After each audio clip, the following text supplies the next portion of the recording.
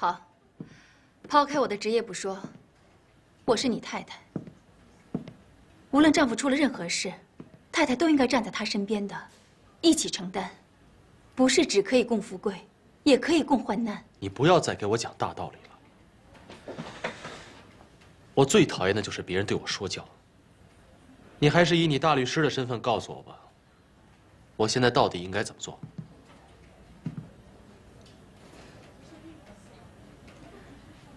好。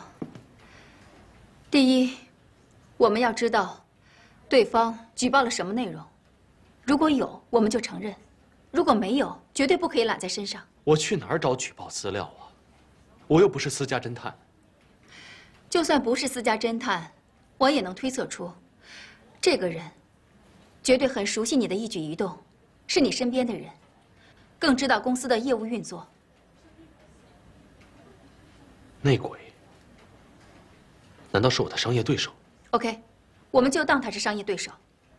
他们也绝对有可能拉拢你身边的人，收买了他，掌握你的一举一动，然后就对你不利。那你认为是谁？这个人。完全掌握了你的行踪，对公司的运作了如指掌。我绝对相信，他就是沈哥。你怀疑是沈哥告发我？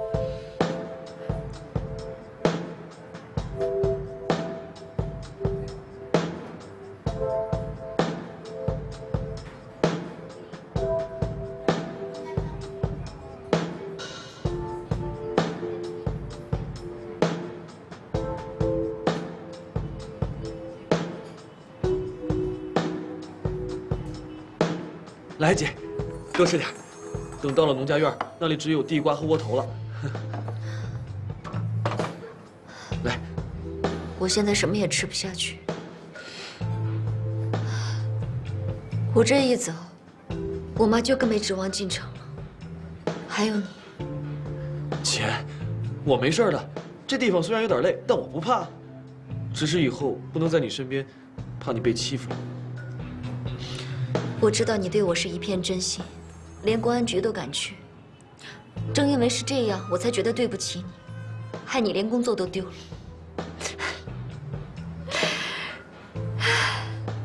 我怎么一转眼就混成这样？姐，真的没事的，你别这样。不是说留得青山在，不怕没柴烧吗？只要你沉住气，回公司那是早晚的事儿，不怕的。你说的对。我不能在那山沟里窝着，我得找借口常回公司看看。我得让鹏飞回心转意。对，这样想就对了。快吃点东西吧。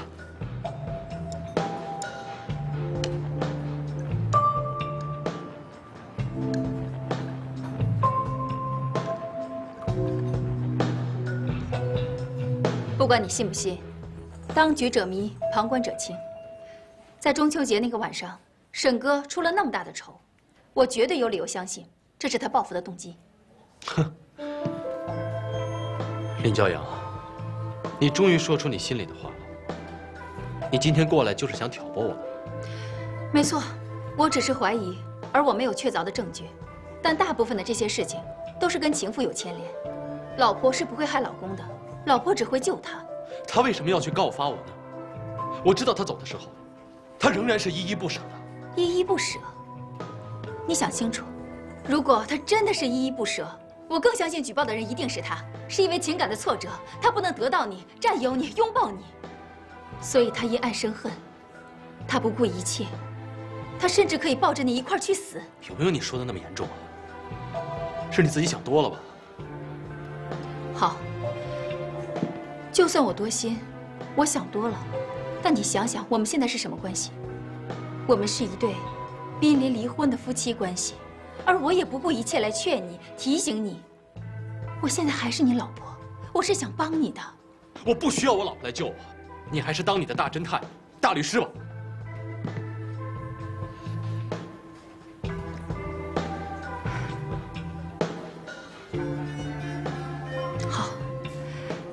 既然我说了那么多，你也不领情，我无话可说。祝你好运，好自为之吧。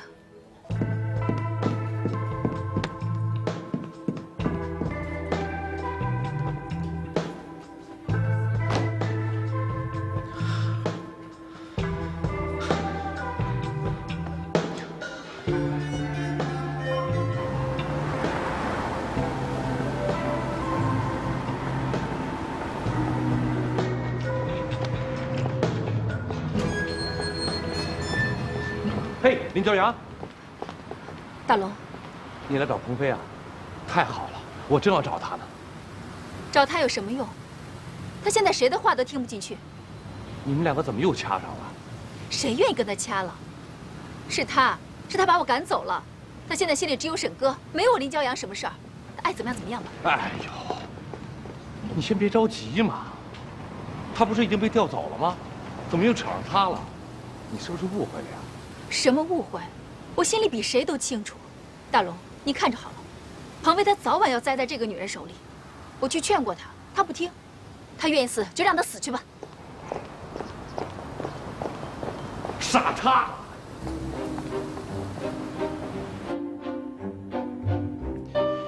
你也看到我有多狼狈了，他还跑来故意要挑战我，继续把感情的事当借口，这就叫落井下石，想让我出丑。他不是挑战你，他是来帮你。他这叫心怀不轨。他凭什么说是沈哥举报我？他根本就不是来帮我想办法的。等等，他是来说这事儿的。哟，我怎么没想到呢？说不定还真是沈哥为了报复你，他这么做呀。鹏飞，你这么想啊？你跟孙坚这事儿，谁最清楚？沈哥吧。鹏飞，你真是糊涂啊！你不应该把林骄阳赶走。你这事儿太重要了。孙坚几天都没回家了，看起来，经侦科已经掌握了不少证据。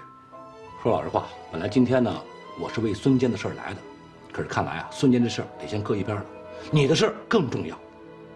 你想想看，你这棵大树要是倒了，他那棵小苗自然保不住。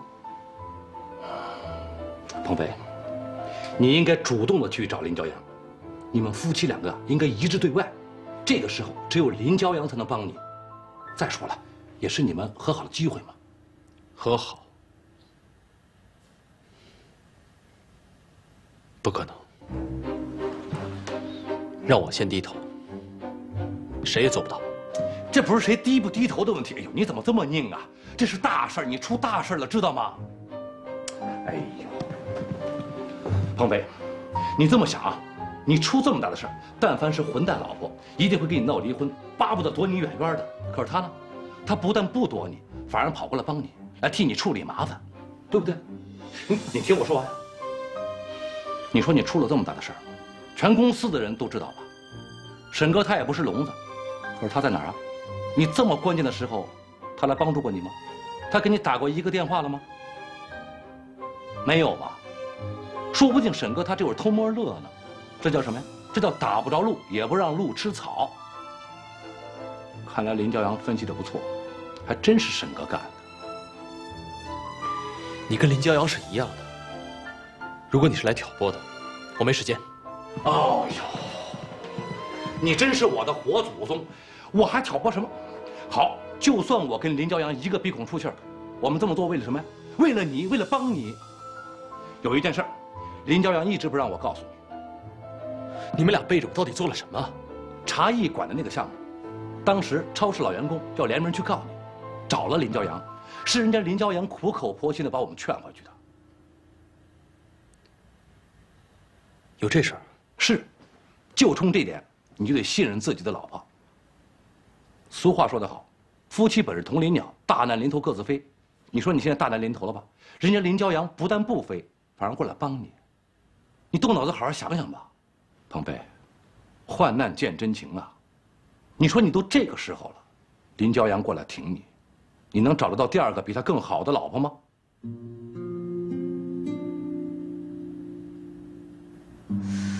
你说这事儿吧，是挺气人的。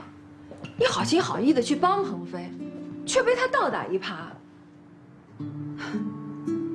现在鹏飞是鬼迷心窍，不管我怎么劝说他，给他什么建议，他都觉得我是在害他。小娜，我知道你跟大龙很努力的，一心一意的希望我们两个和好，可是你也看见了，他现在这样的态度对我，一个巴掌是拍不响的。我对他。也算是仁至义尽了。我觉得姐，王大龙这人还真不错。可是鹏飞啊，从来就没把他当盘菜。要是我呀，我早就不干了。谁叫他是王大龙呢？义气永远都比利益重要。如果鹏飞一定要挺过这一关的话，还非得靠王大龙的这股愣头青的劲儿不可。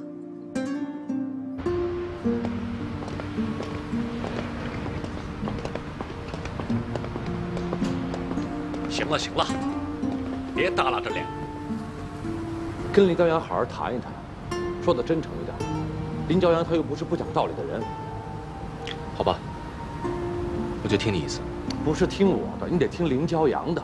夫妻两口子嘛，床头吵架床尾和，没有隔夜仇。哎呦，为了大局，您彭大将军就低一次头吧。夫妻两口子下跪不丢人。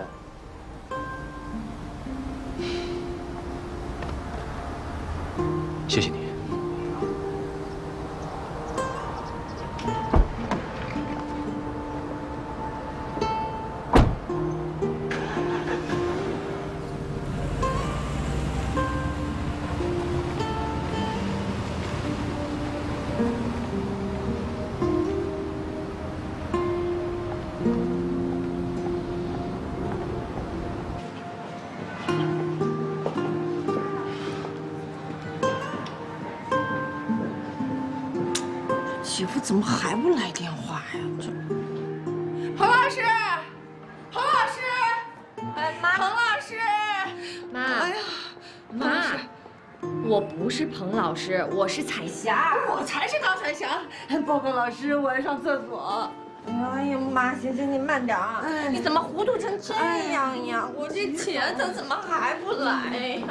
慢点，慢点。哎，好，哎，小心，嗯，你小心点啊！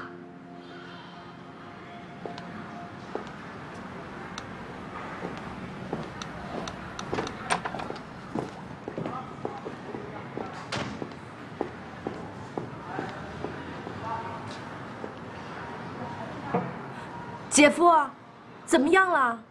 我见到鹏飞了，可是鹏飞现在是泥菩萨过河，自身难保。孙坚的事儿我就没说。你怎么这样啊？你去了你不说，我们还等着你救命呢。行，你就这样吧，等我姐来了，我看你怎么跟她解释。哟，怎么了？气哼哼的。那孙坚的事怎么样了？我姐夫去了一趟，他居然没说。哎，没错，我还真就没说。我告诉你啊，鹏飞的事儿比你的事儿更紧急。我得这么想的，鹏飞这个大树要是不倒，你这个小苗他也不会折，所以我必须得先帮鹏飞。也也对。妹妹，你得听我跟你解释，我可是真去了，我正要跟鹏飞说呢。林朝阳先去的，他们俩正在谈这其他事儿，这事儿呢比你的事儿重要。不是你不能因为出了事你慌了手脚，你知道吗？我妈呢？说是为什么你得清楚，只有鹏飞没事了，孙坚他才能没事儿。我告诉你，姐夫，我根本就不想听你的解释。你出事的时候，孙坚一直在帮你，现在我们根本指望不上你呀。你一定要听我跟你解释啊！我都想好了，第一步呢，首先我们对不是妈呢？厕所呢？我刚才去了，没人啊。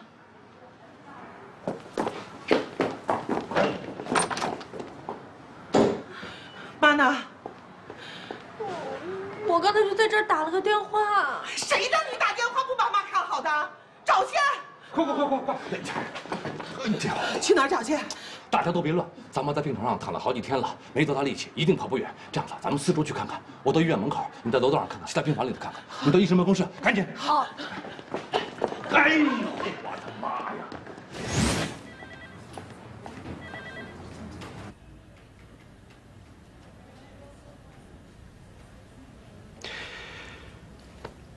我承认，我之前是冲动了一点儿可能调查了几天，人比较烦躁。你应该体谅一下我。我来找你是因为大龙劝了我半天。你是专业律师，我应该听你的。他跟我说了一些利害关系。焦阳，这件事，我真的需要你帮我。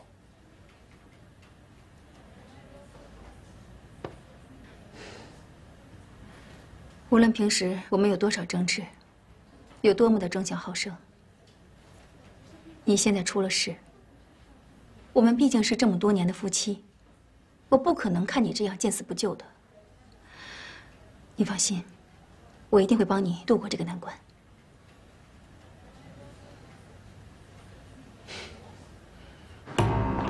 那会儿小姐你好，那个我丈母娘看到了没有？没有。就她刚刚从病房出来，有没有看到？谢谢啊。哎，刘医生，我丈母娘你见了吗？没有。好，谢谢。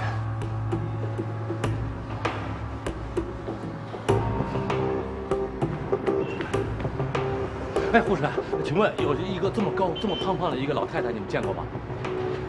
好，谢谢啊。大夫，请问这么高的一个胖胖老太太见过没？看一下。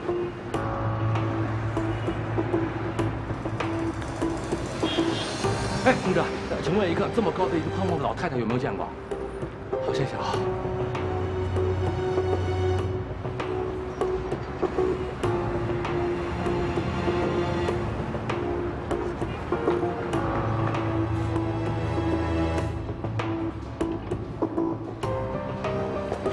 姐，怎么样？找着没有？没有。你找着了吗？我医院整个我都跑遍了，都没有。我所有走廊都找遍了，还是没看见。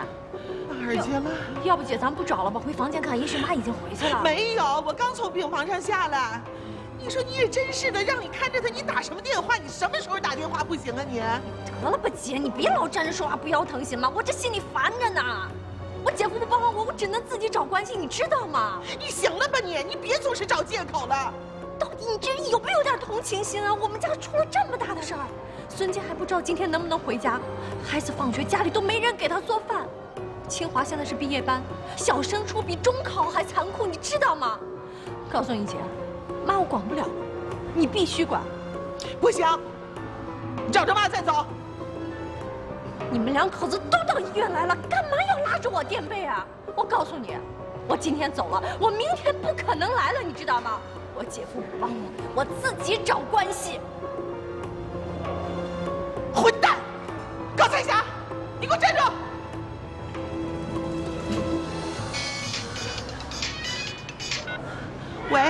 咱妈在马路对面呢，你赶快过来。好好好，我这就来，我这就来。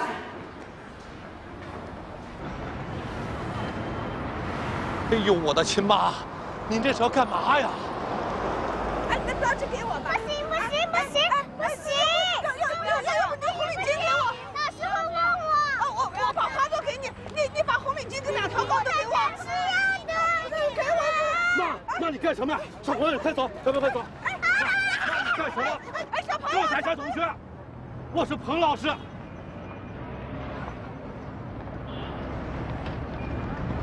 回教室做功课。妈，妈，你怎么跑这儿来了？啊，你没事吧？啊？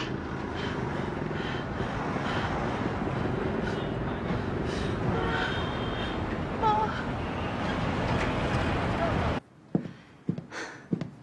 好了，分析了那么多，可以喝杯咖啡放松一下了。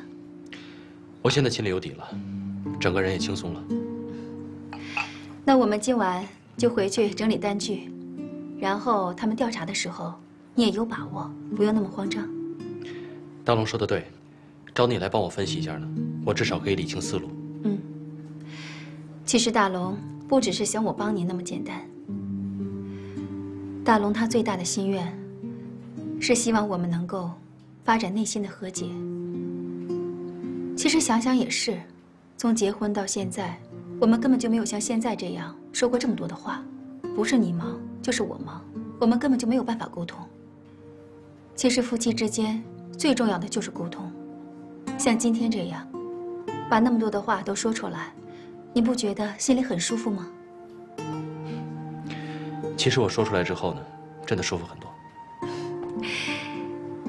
其实夫妻之间本来就应该这样，家是大家的，有什么事情都应该互相商量。就像你这次发生的事情吧，无论你发生什么事，我都会站在你这边，一定会支持你。你真这么在乎我？在乎，怎么会不在乎呢？在乎我们是一家人吗？不是有句话吗？患难夫妻见真情，说的不就是这样吗？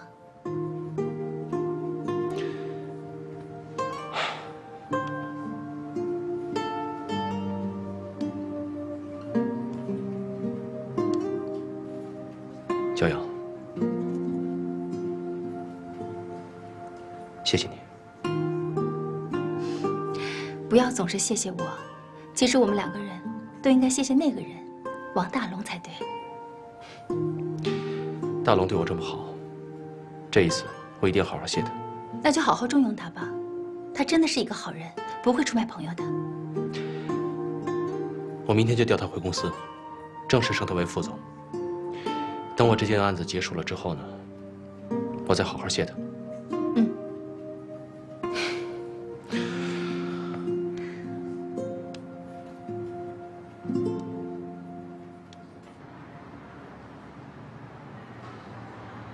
妈糊涂了，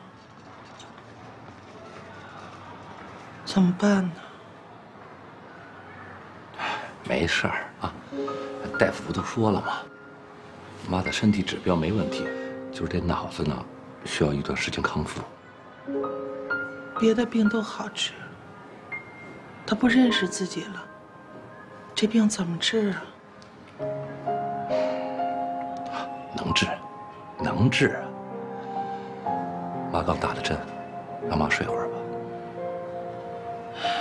这个高彩霞，一天到晚的只知道忙活孙坚的事儿，妈的事儿他一点儿都帮不上忙。明天怎么办呀？明天，明天还有以后，谁照顾妈呀？我照顾。我辞职，我不干了。从明天起，我全职照顾咱妈。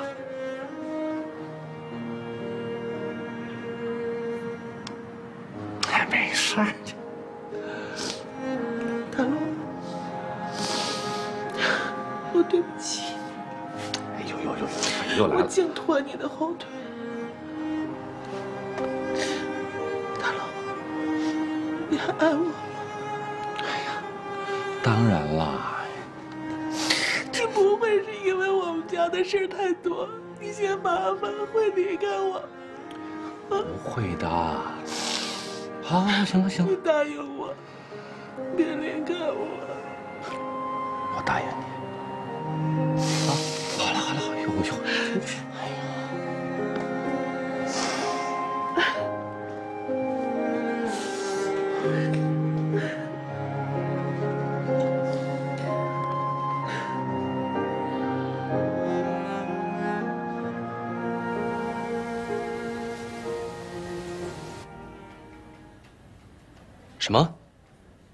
你要辞职？是啊，我也是没办法。我丈母娘疯疯癫癫的，连自己是谁都不知道。我们家都乱了套了，一家老小的就我一个大老爷们儿。我丈母娘、我老婆、我闺女、我小姨子，还有小姨子的闺女，三代女人呢，都得我一个人扛。大龙，你不能辞职。我的心才刚刚安定一点儿，我真的需要很多的人来支持我。你放心，我永远站在你这边的，不管你最后混成什么样了，我都是你的好兄弟。我，我真的是没有想到事情会变成这样。那我跟你说实话，其实我是想调你回来做副总的。在这个非常时期，我真的没有办法管理好公司。现在正好是你发挥你潜力的时候，我真的希望你可以在事业上大展宏图啊！鹏飞，你能够把我当成哥们儿，我很感激你。可我跟你不一样，在挣钱跟老婆孩子之间，我永远选择家。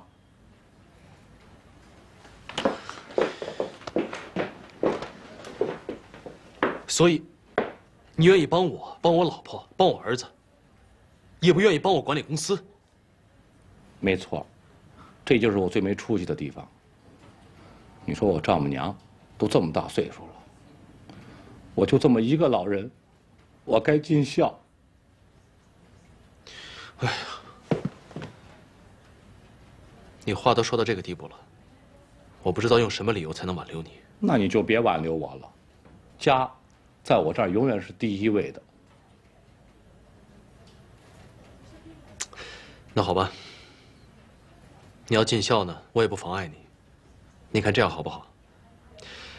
接下来我放你一个月假，工资呢我照样发给你。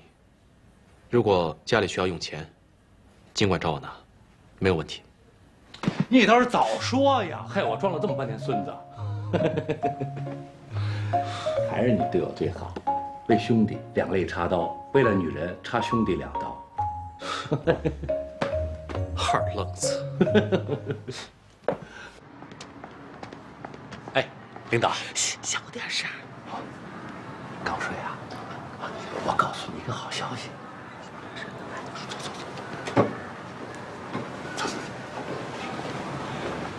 我跟你说呀，好事儿，大好事儿啊！你说，鹏飞呢给我放了一个月的带薪假，听清楚了，带薪假，这就不算是辞职，你知道吗？挺好的。咱们家现在又缺人又缺钱。啊，是，那咱家什么时候不缺钱呢？哎，我说老婆，你怎么不高兴啊？又怎么了？刚才彩霞来电话了，啊？说孙坚受贿的那些东西全都退回去了，还差好多钱呢。他说，他说得把房子卖掉。卖房？都到卖房这地步小点声，你小点声，你那么大声音干什么呀？彩霞已经找中介了，她想把房子尽快卖掉。反正现在，除了妈那些能报销的费用以外，剩下的费用可能都得咱们掏了。哎呦，我的妈呀！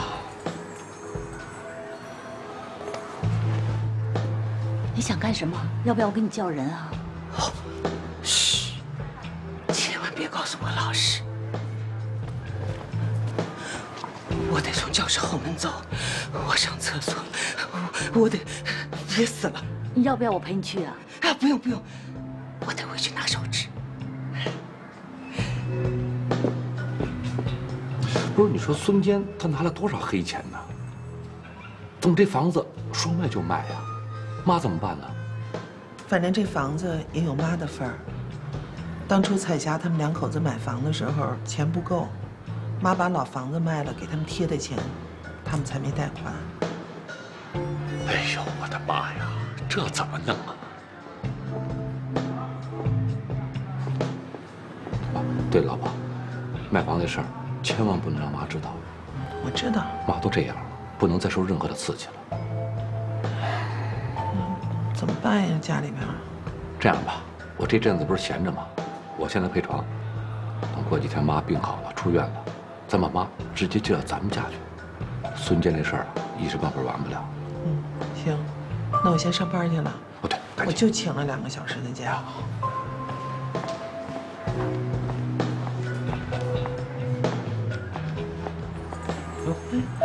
阿姨，我妈呢？你妈说是上卫生间去了。哦，没在呀。啊？哦，他今天又犯糊涂了。他把自己啊当学生，把这病房当成教室了，说什么回家拿手纸。哎呦，我的妈呀！怎么办呢？赶紧再找吧。喂，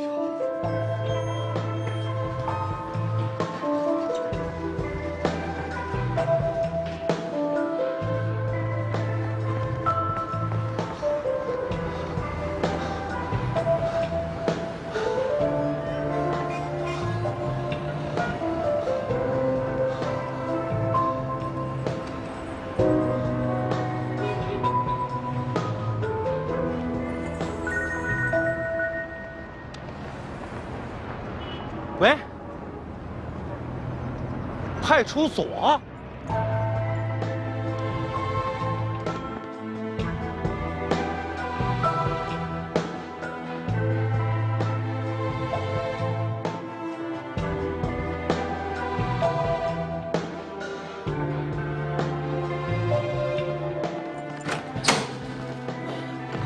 妈呢？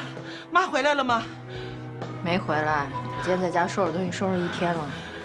今天中介的人带人来看房子。你真要卖房子？妈肯定是听说你要卖房子，所以才到处乱走的。你现在有脸说我？你们两个人在医院看着妈呢，能让老太太丢了？你好意思的？你好意思？你姐夫为了妈已经请了一个月的假了，天天照顾她。你呢？你只顾你自己。我能不顾我自己吗？我都已经没家了，这房子一卖，我们娘俩就没地儿住了。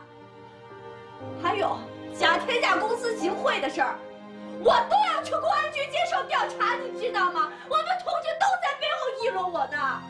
孙坚如果被判上几年，我们娘俩就真的要流浪街头了。这个时候你还跟我计较伺候妈的事儿，你就是冷血动物！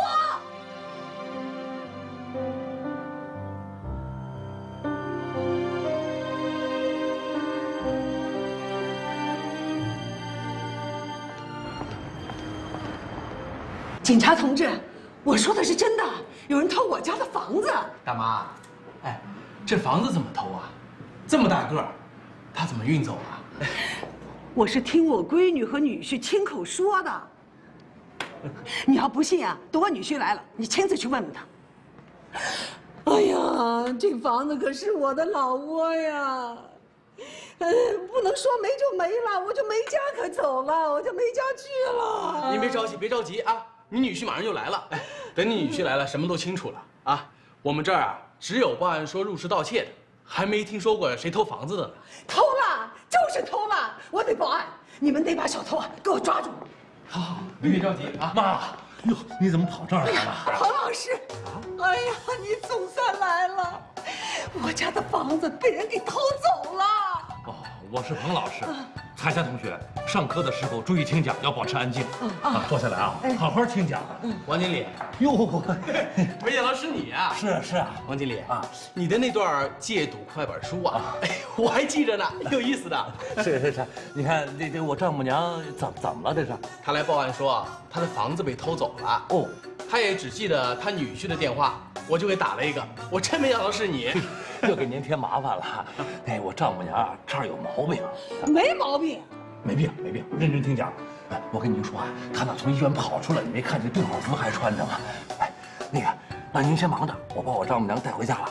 好好，没事啊。那王大路同志，你就把她接回去吧，好好休息啊。好，好，好，小霞，走吧。你不是彭老师，我不走，我得等警察给我抓小偷。不这这这，警察，你们一定得帮我把小偷给抓住了，听见没？我要不然就没家了，我就没地方住了。哦，您别激动，别激动啊，有我们在呢。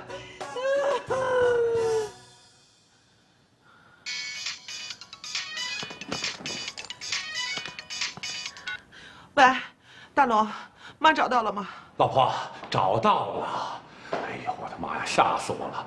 可是咱妈死活不愿意离开派出所，非得说有人偷她的房子，让人警察去抓小偷。得得得，我拿给军报个平安。我知道了，我这不是赶紧想个办法把他妈弄回来吗？不许走，你得跟我去抓小偷。我不走啊，大妈，你先松手。都怎么着？嘿。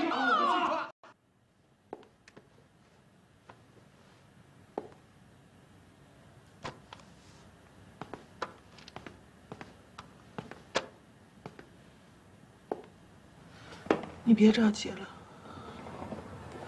妈找到了。听见了。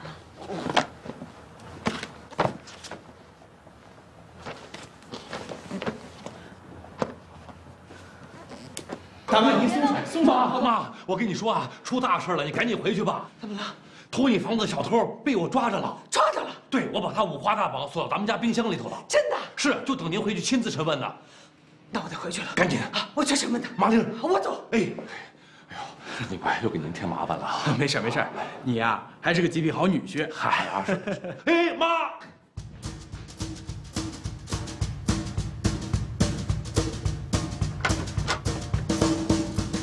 妈，小头呢？不是妈，你乱使个板砖干什么呀？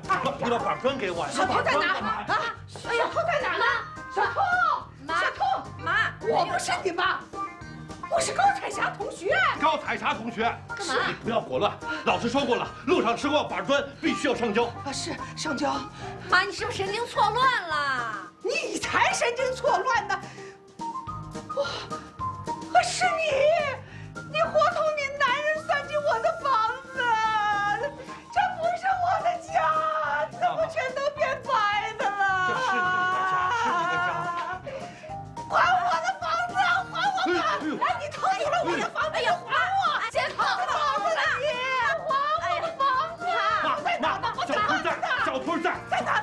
在你房间里头呢。我在我房间里。对对对对对。妈，我带你去找小偷，我带你去找，我带你去找，在哪呢？小偷，小偷出来！妈，别找了，小偷。来，老婆接着。老婆，老婆。哎呦喂，不是，你怎么给自己打？哎呀，行行行，快出来吧，快出来吧。没事，没事，妈疯了，咱们用疯的办法对付妈。你帮我找两样东西。什么东西？你弄丝袜、绳子。干嘛你要打劫呀？你赶紧的吧，别啰嗦，快快快找吧！哎，不怕不怕，没事，有我呢。快去快去！呀，你快去找啊！我怕妈拿板砖害我，我爸他拿板砖害我，我真的害怕。老婆，你帮我找绳子。哎哎！我真的害怕了，娘娘！快！我真的害。你再怪我抽你！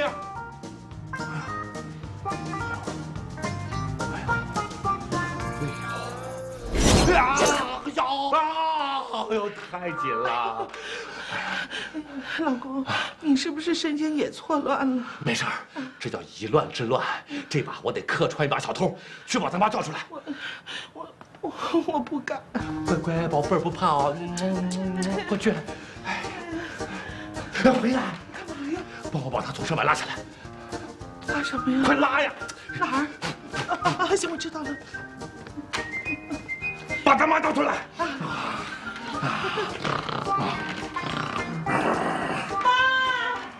妈，小偷在这儿呢！小偷在哪呢？啊，小偷在哪？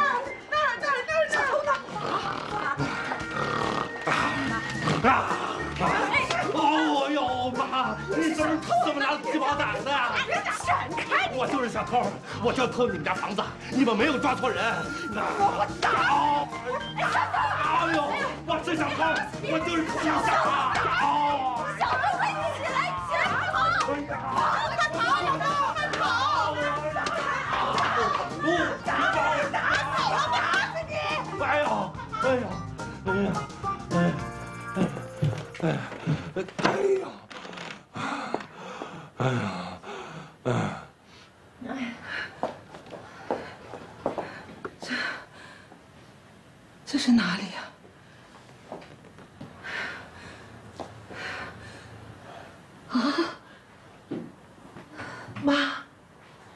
这是你的家，你看。